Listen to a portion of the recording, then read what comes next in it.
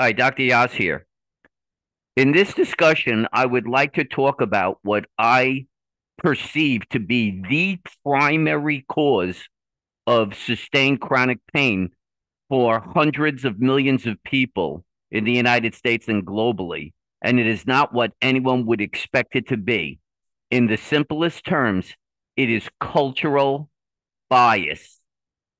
Cultural bias. What that means is that chronic pain in no way has any medical rationale for its, its existence. There is no reason for chronic pain to exist from a medical perspective. What you need to understand is that pain begins at inception of distress of tissue.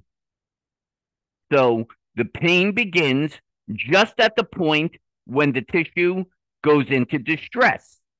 It does not occur six months before the distress of the tissue or six months after the distress of the tissue. The pain begins at inception of distress of the tissue. So you start to have symptoms. If you were to go to the proper diagnostician at that time, who can evaluate and establish what tissue is in distress, then by definition, if it is accurately diagnosed, it should be able to be treated with the proper intervention. And therefore, all pain should be resolved within the acute phase. The acute phase being three to six months after inception of symptom. Chronic pain is described and defined as being sustained pain that is greater than three to six months. So you just go from acute pain to chronic pain. Nothing changes in the intensity. The definition simply describes the length of time that you're having your pain. So if this is true, then why is this going on? Why is it that nobody is having their pain properly diagnosed in the acute phase, allowing the pain to be resolved in the acute phase and preventing it from extending to the chronic phase? And the answer is misdiagnosis. It's clear as can be. The answer is that for 40 years, the entire global medical establishment has promoted the idea that the MRI is the accurate measure, the gold standard, the primary mechanism for identifying the cause of pain. Pretty much everybody on this planet knows that if you have pain and you seek care, the very third, first thing everyone wants to do is get an MRI. You're not going to get treatment unless you get an MRI. And the MRI will find some structural abnormality that exists. And since it's found for the first time at the time of your of your pain, maybe it's a herniated disc, or arthritis, or stenosis, any of these types of things that are found. And since it's found for the first time at the time of the pain, it is asserted to be the cause of the pain, which is known as correlative theory or junk science. That doesn't prove causation. Just because a structural abnormality is found for the first time at the cause of your pain, that it means that it is the cause. It's silly. It's nonsense.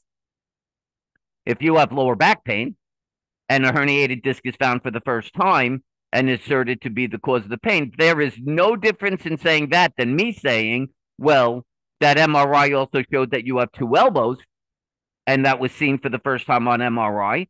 So therefore, two elbows is the cause of your pain. It's literally that insane to make the statement that just because a herniated disc was found for the first time at the time of your pain, it is the cause of the pain. The important thing to understand on the opposite side of that is that if herniated discs cause pain, then those without pain should not have herniated discs. And in 1994, 30 years ago, the first study on people with lower back pain who did not have lower back pain showed that 70% of the population who does not have lower back pain have bulging or herniated discs. So instantly, that basically disputed the idea of herniated di- the disc being the cause of pain, and it should have ended any attempt to treat that as the cause. But this is the path that the medical system has stayed on, and so it doesn't really matter head to toe any place you go. People are told arthritis causes pain. Well, arthritis, osteoarthritis cannot cause pain meniscus, labral tears don't cause pain, herniated discs don't cause pain because they're made of fibrocartilage, and fibrocartilage has no pain receptors in them. The, the evidence is overwhelming. Uh, and in fact, one of the biggest contentions I have is the fact that if structural abnormalities cause pain, then you should expect to have your pain fairly continuously, 24 hours a day, fairly continuously with very little variation in intensity. And yet, almost everyone on the planet who describes their pain describes it as being associated with activity. And once they stop activity, it diminishes. Yes, at some point at night, it might be worse, but certainly stopping the activity makes the symptoms stop being generated. So there's just a multitude. Oh, and then muscular causes, of course. If it is a muscular cause, a strain in your neck muscle or your low back muscle or some imbalance between muscles surrounding the knee causing your pain. None of those muscular causes show up on diagnostic tests. So if that is the cause of your pain, you're never going to identify it through diagnostic testing. So it is because of this complete lack of basic validity in terms of how you are being diagnosed that you never get the proper diagnosis. And for 40 years, this has been going on, and they keep trying to tell you there's some other reason that you're not getting better. It's, maybe it's in your head. Um, you're just not responding well to their treatments. But ultimately, what it comes down to is the fact that you are all programmed to believe that the system is working. It's just not working for you. That's what cultural bias means. So, the way I see this is that I've treated thousands of people and I continue on a daily basis to treat people, and they are pain free and fully functional within weeks. They see an 80 to 100% reduction in symptom on their first session.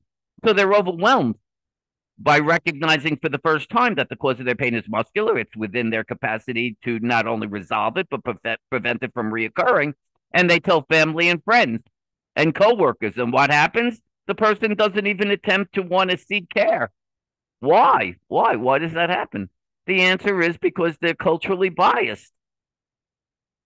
They just assumed, no, no, no, that guy might have gotten you better. You might have had a miraculous recovery. But the reality is, in almost all cases, the cause of pain is what's found on MRI. It's arthritis, a herniated disc, stenosis, pinched nerve.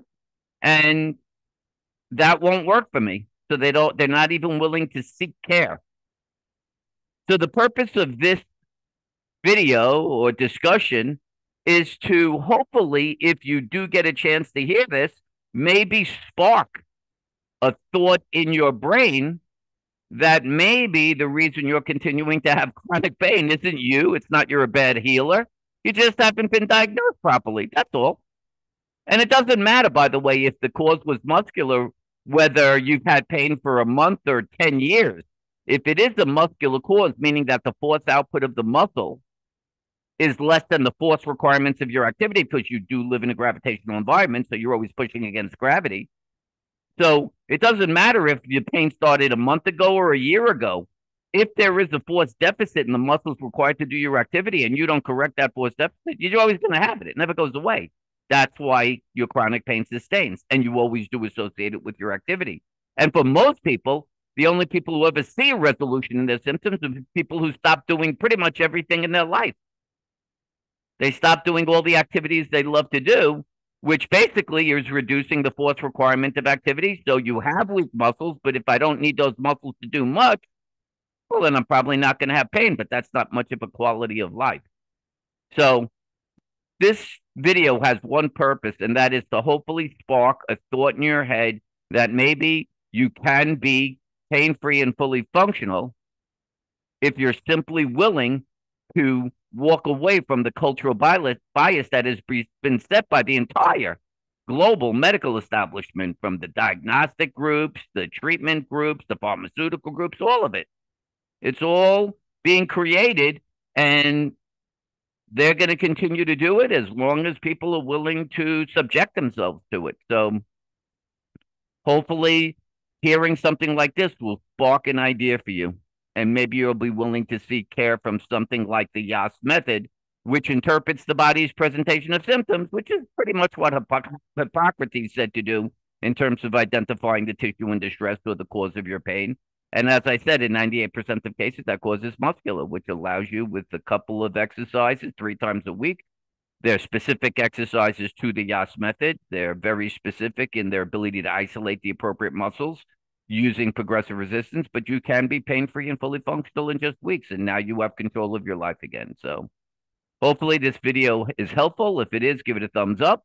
If you like my YouTube channel, Dr. Mitchell Yass, please subscribe and hit the bell icon to get notifications when new videos are added or when I'm live on YouTube. If you want to contact me, you could do so by email at drmitch at mitchellyass.com. Or if you decide this makes sense to you and you want to set up a Yass method treatment session, either in Jacksonville, Florida, in person or by Zoom, you can go to my website, Live Without Pains. That's plural, livewithoutpains.com. And there'll be a schedule now button. Schedule your appointment, pick the day and time that works best for you, and we'll get you going and get you out of pain in a very short period of time. So for now, this is Dr. Mitchell Yass wishing you a pain free, fully functional life. Bye bye for now.